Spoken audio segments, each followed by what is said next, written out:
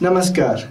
El videito de hoy es bastante divertido porque es aprender a decir no. Uno dice, aprender a decir no, pues eso es malo.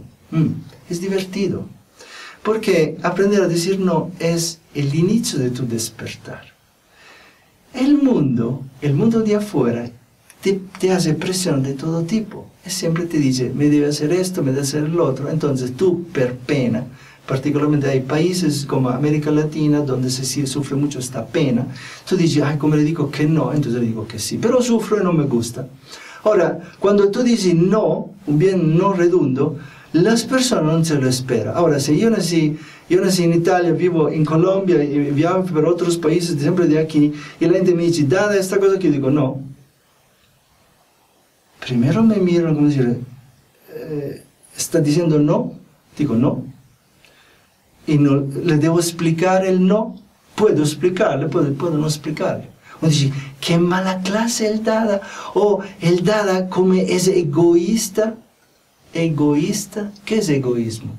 Egoísmo es que tú me estás imponiendo las cosas tuyas que tú quieres que yo haga, que no quiero hacer, y yo te digo que no, porque me estoy defendiendo de lo que tú me estás pidiendo, o, eres, ¿quién es el egoísta? ¿Tú o yo? Tú eres egoísta, ¿por qué? Porque me está pidiendo algo que yo no quiero hacer.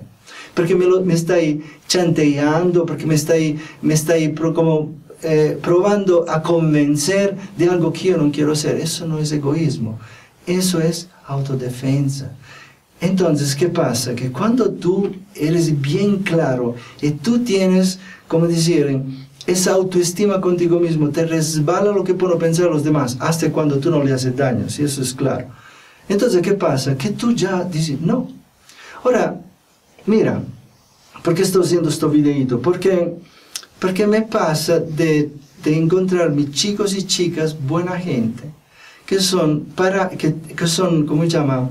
Que sufren por varios parásitos que le están sacando la, la, la energía y sangre. ¿ok?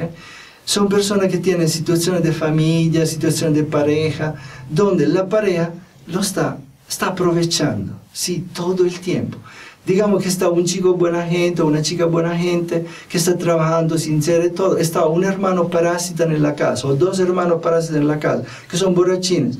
Y la mamá matada con su hijo borracho y no cuida a la hija buena gente o el hijo que, que por toda la vida ha, ha, mantenido una familia, la mamá con dos hermanos inútiles, no trabajan, no hacen nada, y cuando la mamá, la mamá se vuelve viejita, ¿qué hacen ellos? Dicen, no, yo no puedo cuidar a mi mamá, y ni siquiera le puede cocinar, dicen, no, porque estoy ocupada, mirando televisión todo el día.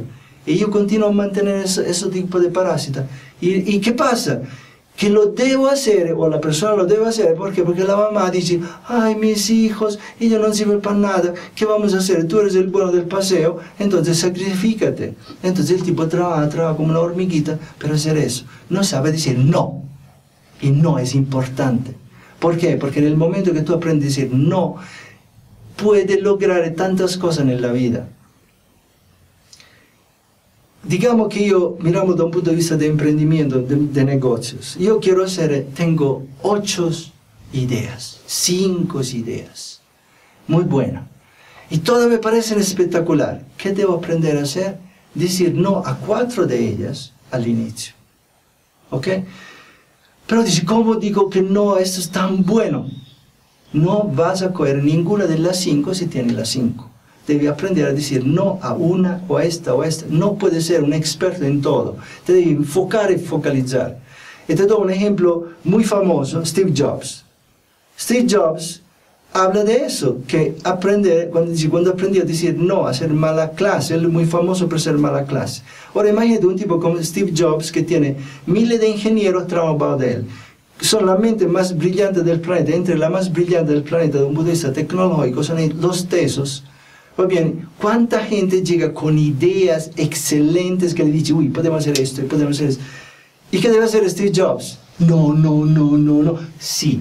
O consideramos esto. ¿Por qué? Porque si empieza a decir sí a todos, se acabó Apple.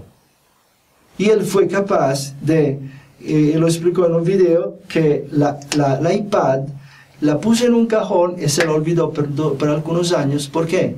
Porque venía el iPhone primero.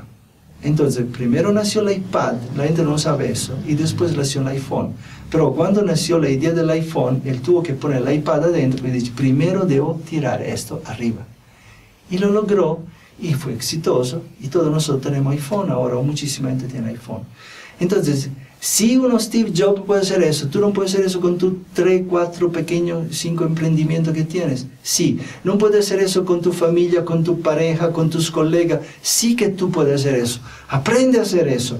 Sácate esa pena. La pena es, yo no, digo la palabra, pero pues no tengo, no es muy buena. Pero ese tipo de personas que tienen miedo, ¿miedo de qué? Cuando tú me preguntas algo que yo no quiero hacer. Entonces digo, no, no. Dice, pero ¿cómo si que no? No. Y si quieres te lo explico, pero yo mantengo mi idea. No es mi idea, regresamos a la cosa, mi opinión es más importante que la tuya. Siempre. Si tú me vas a convencer que tu opinión es más importante o mejor de la mía, a mí me toma menos de un segundo decidir por la tuya. Pero primero me debes convencer. Si tú no me convences, no lo logro. ¿Ok? Entonces, sácate esa pena, de todo ese tipo de miedos, sube un poquito tu autoestima y aprende a decir no. Y tú verás cómo tu vida se va a mejorar. Eso te lo puedo garantizar. Me puedo escribir aquí abajo y eso es garantizado que va a mejorar. Porque no va a ser un egoísta, no. Te estás volviendo más fuerte más centrado en ti mismo para ser más fuerte para dar a los demás. estamos hablando de egoísmo. El egoísmo es otra cosa. Te han convencido que eso es ser egoísta. No es ser centrado en ti para llegar al éxito que tú quieres. Namaskar.